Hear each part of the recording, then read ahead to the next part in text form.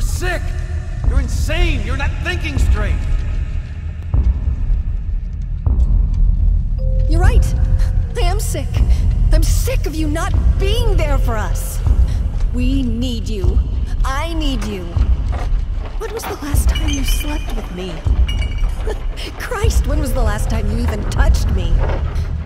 Do you know what that does to me? To, to know that my own husband is disgusted with me? Well, excuse me if I've been too busy working my ass off trying to provide for this family. But no, you're right. It's much more important to whisper sweet nothings in your ear. You, call that work? You, you lock yourself in there for hours, days. You, you come out looking like shit, stinking of booze and stale piss.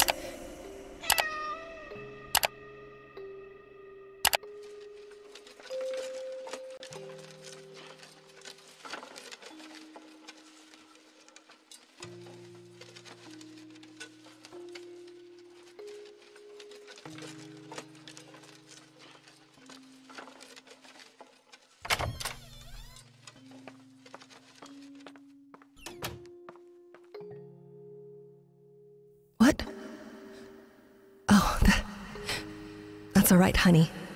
Something got into Mommy's eye, that's all. You be a good little girl and go to sleep. Daddy's working, so we can't disturb him. Mommy has to go downstairs and take a bath. I love you.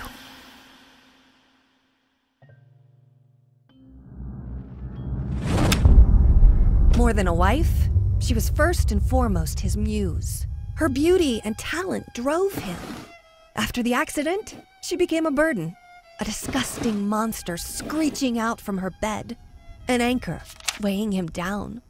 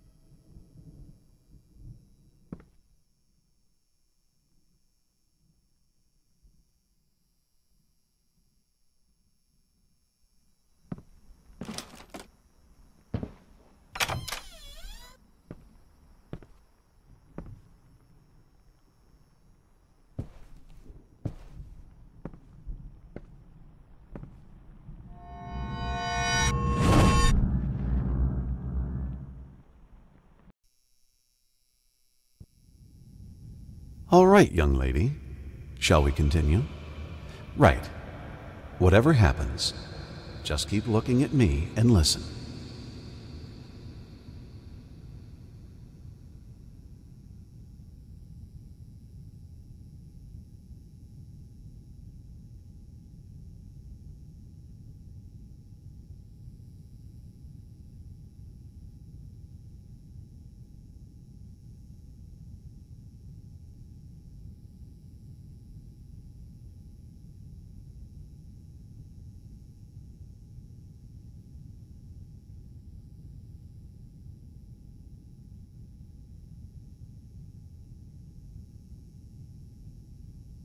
Now, where was it?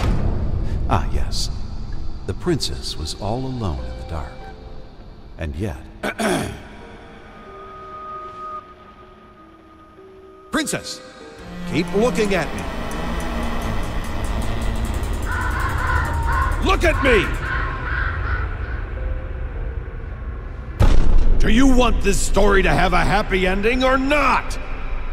Oh, god damn it! Not again! Fine!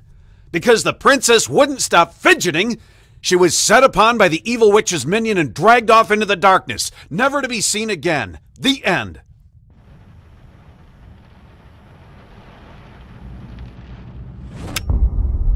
My fault. It was always my fault. All I had to do was stay still, day after day, for hours on end, until he would finally get it right. I've lost count of how many attempts there were, but each one made me feel like I was his greatest failure.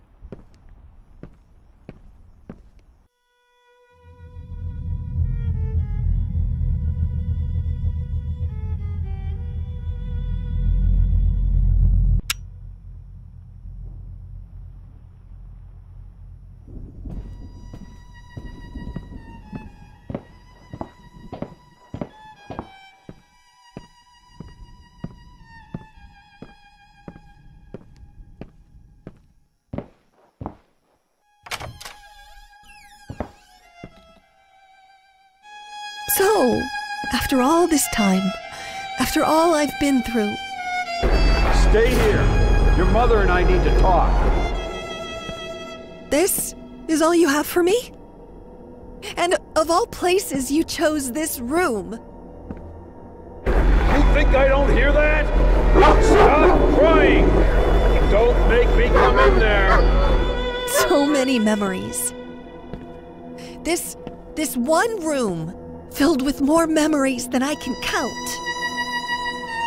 I thought I told you to be quiet! Oh, the lovely memories. I imagined him standing there, all smug and pleased with himself, thinking this piece of canvas was somehow going to fix everything. I imagined what I would say to him, what I would do. Why, Daddy, shouldn't have. Really? Shouldn't.